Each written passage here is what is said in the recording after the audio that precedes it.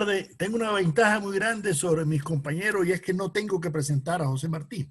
O sea que todo latinoamericano conoce, ¿no? Por lo tanto, no voy a referirme a nada biográfico ni nada, ¿no? De su... Voy a concentrarme en las ideas filosóficas de José Martí. ¿Y por qué lo hago? Bueno, pues cuando en los años 80 empecé a estudiar un poco las ideas filosóficas de José Martí, me encontré una diversidad de criterios, como de que Martí no era filósofo, o como que era un filósofo sin filosofía, como decía eh, Fernando Ortiz, bueno, en fin. O empezó los encasillamientos, ¿no? Que si Martí era krausista, Martí estudió filosofía en Zaragoza cuando el krausismo estaba de moda, ¿no es así? Y Martí fue profesor de filosofía en Guatemala y dio clases de filosofía. Entonces, en un momento llegó a decir que eh, era superior en todo, Hegel, bueno, en fin. Pero además Martí coqueteó con el positivismo porque polemizó con Enrique José Barona en La Habana, eh, defendiendo Martí el idealismo y el espiritualismo frente al materialismo, ¿no? Del, positivismo y además tuvo mucho contacto con los positivistas mexicanos. Además, Martí llegó a Estados Unidos y se enamoró también del espiritualismo de Emerson. Entonces, algunos dicen que es emersoniano, pero yo creo que Martín no se puede meter en, ningún, en ninguna casilla, como decía Cintio Vitier, porque Martín no se guió por filósofos, ni por profetas, ni moralistas, sino por héroes, ¿no? Como Simón Bolívar o como eh, Jesucristo. Ahora, lo importante es que indudablemente en la obra de José Martí hay profundas reflexiones sobre la filosofía. Y a eso lo me voy a concentrar. Lo hice en el primer libro que publiqué sobre José Martí, este libro que se publicó en el 2003 por el convenio Andrés Bello, donde tengo dos trabajos, uno sobre Martí el positivismo y otro el humanismo práctico y desalinador de José Martí. Este libro, parte de él está en internet, pero no está completo.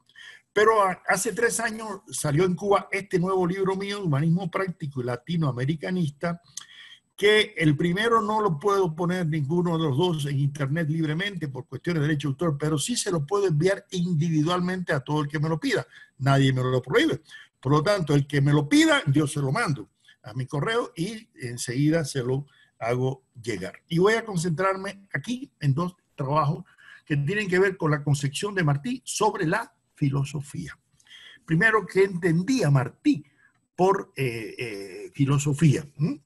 Para Martí, en primer lugar, decía, la filosofía es el conocimiento de las causas de los seres, em, en, de los procesos naturales y de, sus distinciones, de sus analogías y de sus relaciones. Bueno, esa es una primera definición que nos vamos a encontrar, ¿no? De, de, Martí. Martí va a insistir mucho en que su filosofía es de la relación, ¿no?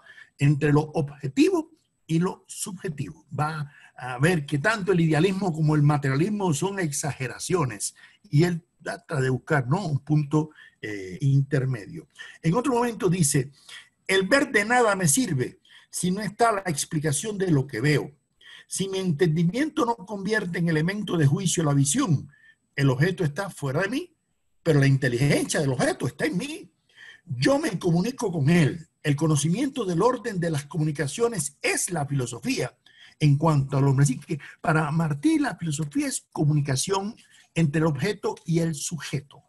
Se estaba tratando de enfrentar a ese objetivismo positivista, porque Martí critica el positivismo abiertamente porque dice que hiperboliza lo material y lo objetivo, y además porque daña el arte, como va a decir en un momento determinado, dado el profundo ¿no? espiritualismo que hay en José Martí. Ahora, sin embargo, Martí concibe la, la filosofía como una ciencia, pero distinto a la visión del positivismo. Para, dice Martí, filosofía es la ciencia de las causas.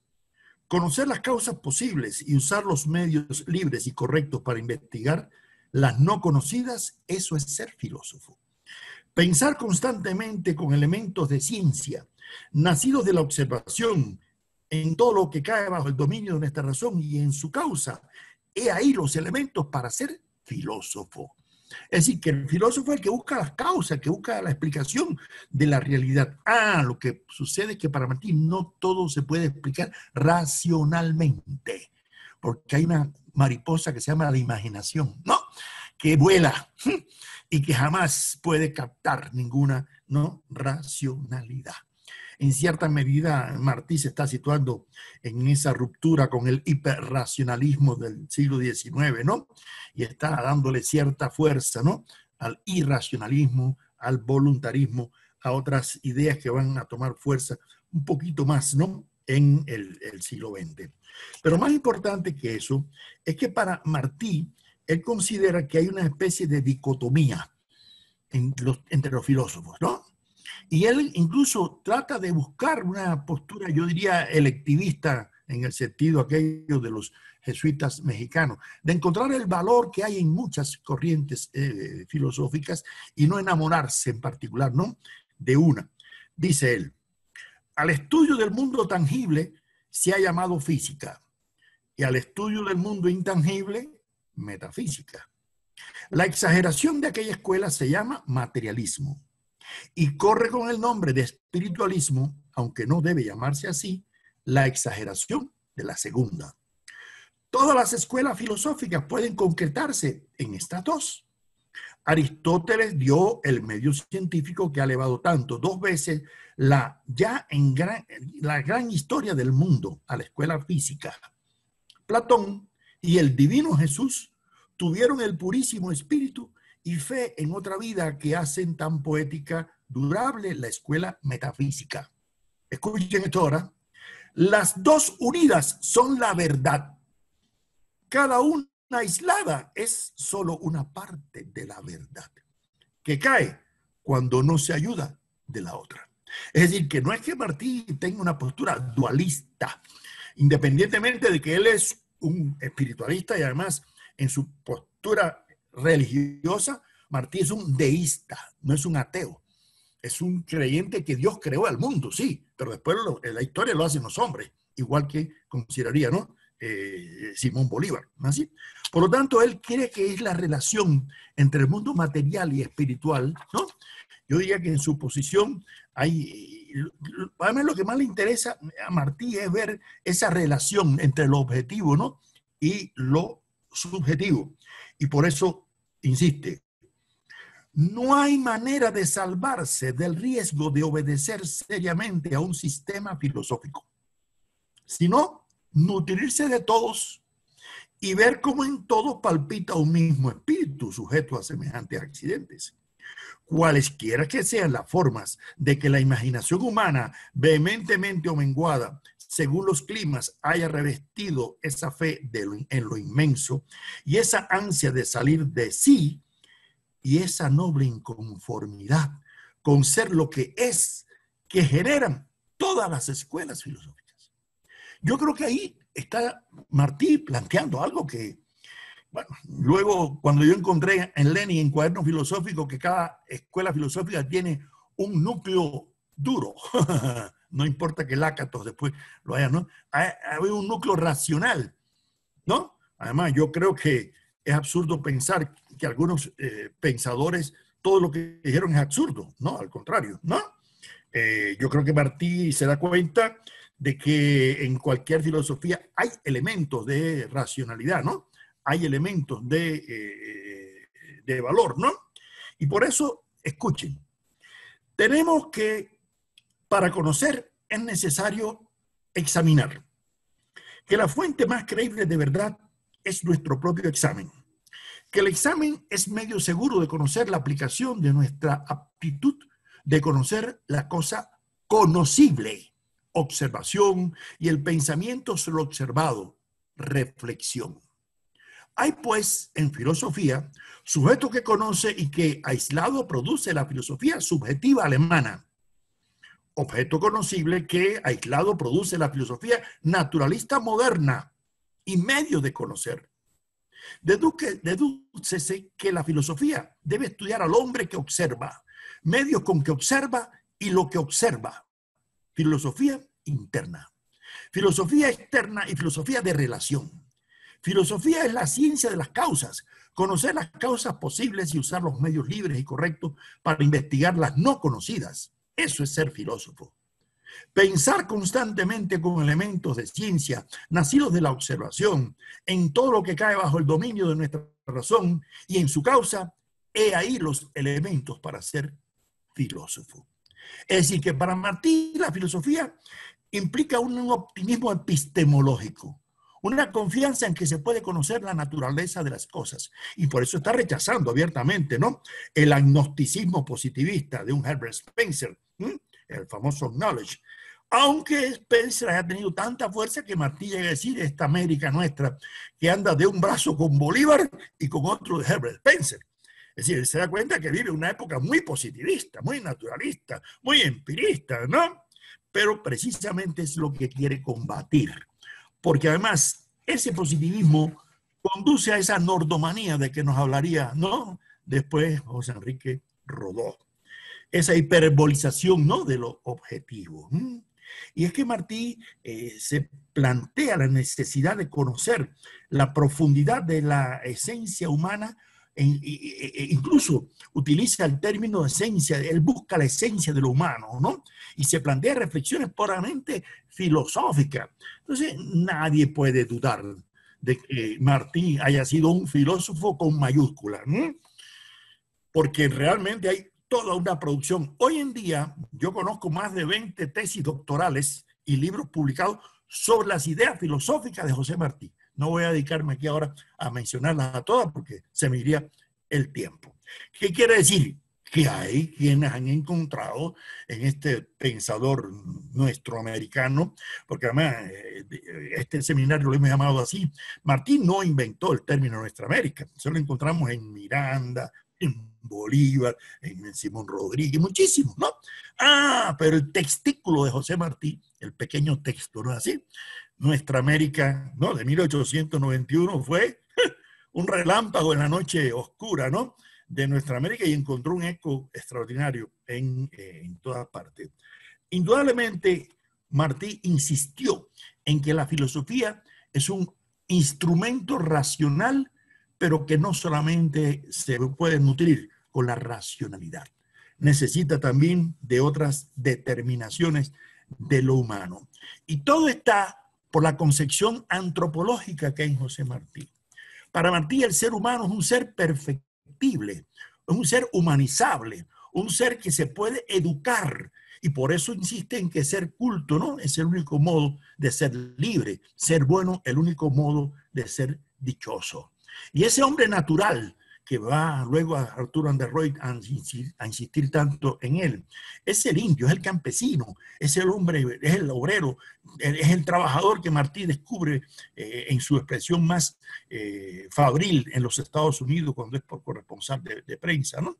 Y Martí parte de un presupuesto, ¿cuál? Que lo dice en nuestra América. Hay que cultivar en el hombre lo mejor, si no, lo peor prevalece ya que hasta en el más humilde ser descansa una fierecilla que se despierta sobre todo en las guerras. Es decir, que Martina confianza, dice él, lo dice, él ama y tiene confianza en el hombre, no en los hombres. o sea, él diferencia bien, ¿no? Su, confianza y cuando le escribe a su hijo, el, el Ismaelillo, le insiste en que hay que tener fe en el hombre en el hombre en el sentido del ser humano. Incluso Martí creó un término, humagno, lo utiliza en uno de sus poemas, ¿así? Humagno. Es decir, ese hombre bueno que se aspira como una perfección de, de, mejoramiento del ser humano y que tiene una profunda confianza ética en la perfectibilidad a través de la educación, a través de la cultura, pero no solo a través de eso, sino a través de la transformación práctico material y revolucionaria de la sociedad. Y por eso, mientras criticaba en 1883, porque había mm, puesto demasiado uh, énfasis en la lucha de clases, en la violencia, después tomaría un fusil y sería a luchar por la independencia de Cuba, ¿no? En 1895, como caería, ¿no? Eh, heroicamente. Y aunque criticó el socialismo en la visión que Herbert Spencer había hablado, ¿no? Sin embargo, criticó mucho más el capitalismo de su tiempo y sobre todo los bancos, ¿no? Y por eso decía, es un crimen asaltar un banco, pero peor crimen es fundarlo. ¿Mm? O sea, José Martí es un crítico abierto de la sociedad norteamericana, aunque admiraba el pueblo norteamericano. Pero decía, amo a la patria de Emerson y de Lincoln con el mismo desprecio que veo a Walker, a Cutting, hacia los interventores, ¿no? Sí, Martí sabe diferenciar y eso lo hemos aprendido muy bien los cubanos. Una cosa es el pueblo norteamericano. Yo he tenido cinco veces de estar en Estados Unidos y he podido confirmar eso que dijo José Martí. Pero otra cosa son los gobiernos ¿no? de los Estados Unidos con relación a América en particular y de Cuba y Puerto Rico ¿no? en particular. Ahora, todas las ideas filosóficas de José Martí están vinculadas a qué? A su antiimperialismo, a su anticolonialismo, a su lucha por la emancipación humana, a la perfectibilidad de una sociedad más humana con todos y para el bien de todos. Es decir, que no es una filosofía de gabinete, no es una filosofía metafísica ni hiperteórica.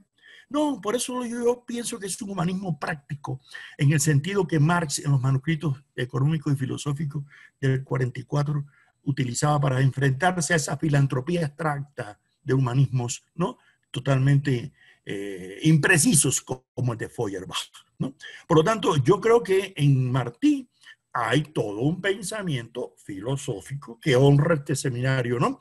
que hemos organizado y invito a que profundicemos un poquito más en la obra, no solamente política, no solamente poética, no solamente periodística, porque es que Martí se la puede analizar desde muchas diversas esferas, pero sobre todo cuando él insiste que la historia de los incas acá ha de estudiarse al dedillo, aunque no se estudie suficientemente la de los arcontes de Grecia, no es porque Martí despreciara a los arcontes de Grecia, al contrario, le escribió a los niños en la Edad de Oro sobre Homero, sobre Platón, sobre Aristóteles, pero es que él decía, con una frase de Montesquieu o de Sieyes, no se gobierna América. Para gobernar América hay que conocerla, hay que estudiarla, hay que reivindicar lo que dijo Simón Rodríguez, o inventamos o erramos. Y esa idea de que crear es la palabra de pase de nuestra generación, Martí la tomaría de esos grandes pensadores. Y no solamente Martí se nutrió de pensadores europeos y norteamericanos, también se nutrió de muchos pensadores de nuestra América. Ahí lo dejo.